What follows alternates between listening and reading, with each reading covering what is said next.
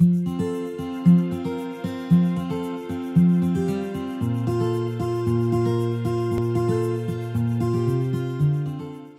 evolution of pedagogical theories have accompanied humanity since antiquity. Let's think about how much the maieutic method, which was developed by Socrates with his disciples, can still inspire us today. Throughout history, pedagogy was able to benefit from the contributions of many different disciplines. Let's think about psychology, philosophy, but also neurobiology and anthropology.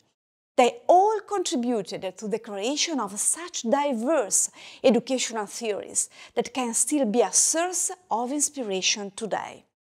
Just in more recent times, we will all have heard of Montessori and Vygotsky, who actually made their contributions at the beginning of the 20th century, so they are already a century old, but still a very interesting source of inspiration.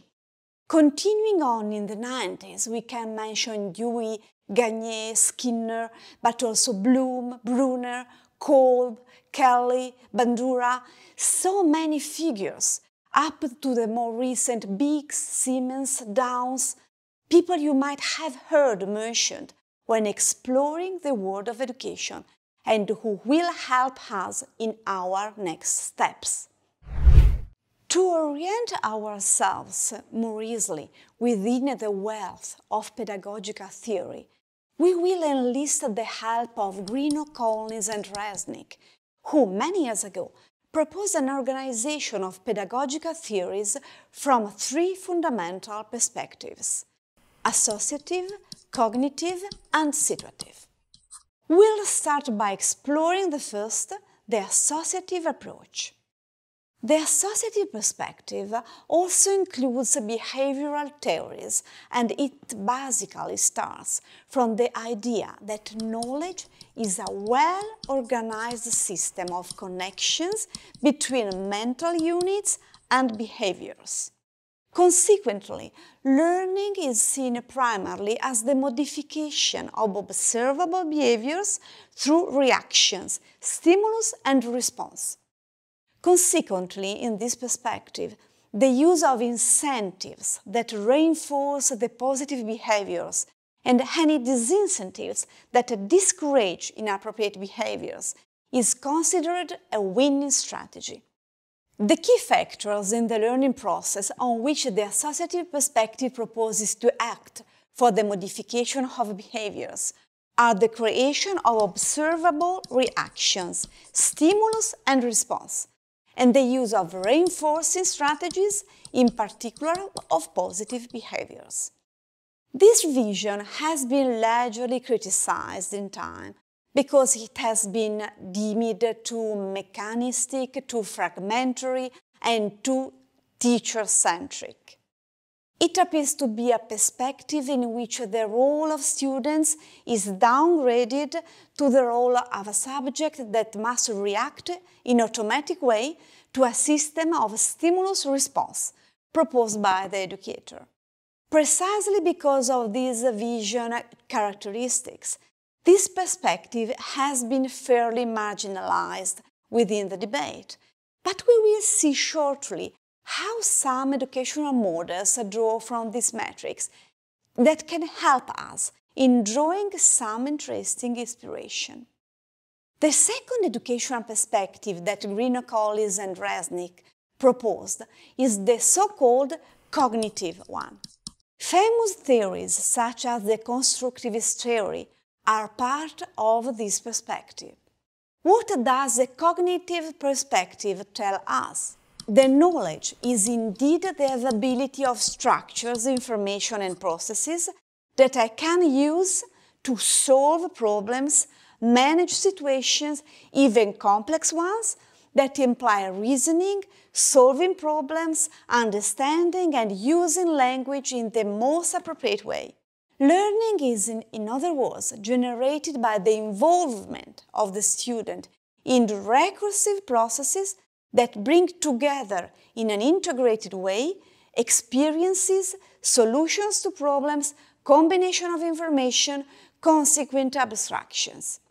In the cognitive perspective, therefore, learning is considered basically the modification of internal cognitive structures, the result of a mental activity stimulated by experience, potentially within a social context. It becomes clear from this consideration that the role of the teacher is definitely different compared to the one we just saw in the associative perspective. The educator becomes the subject aiming at activating the context of experiential stimulus in which students can build the modification of their system of knowledge, abilities, and competencies, and then act in the solution of complex problems. The third perspective on which we encourage you to try and map the world of educational theories is the so-called situative perspective.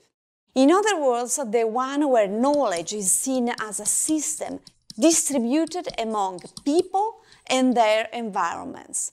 Other individuals, seen as bringers of knowledge, are naturally part of these environments. But we are also talking about physical objects such as libraries, books, magazines, where knowledge physically resides.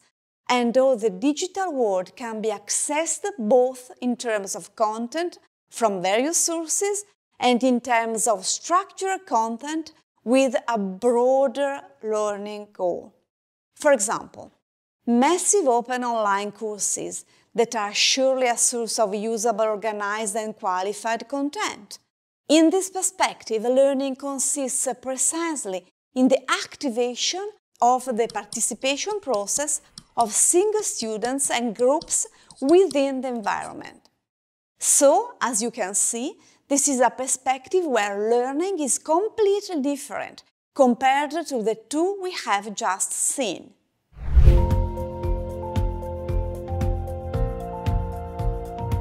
Let's sum up now. In the construction of strategies to guide our teaching and learning experience, we can be helped by pedagogical theories, and in particular by their operational use within the teaching practice, the pedagogical models or pedagogical frameworks. However, to begin our exploration of pedagogical frameworks, we need to try to orient ourselves in the vast world of pedagogy. And to this aim, we will suggest three different perspectives. The first is the so-called associative perspectives. Its main focus is the activation of stimulus response that modify behaviors through positive reinforcement. Another approach is the cognitive perspective, which focuses on the construction of strategies that recursively involve the student in processes based on experiences, abstractions, cooperation with peers, to modify the internal structure of knowledge. The last one is the situational perspective. It starts from the idea that knowledge is an attribute shared among individuals and their environments, so it focuses on the activation of students as a subject capable of drawing and activating knowledge from environments, physical objects and digital world.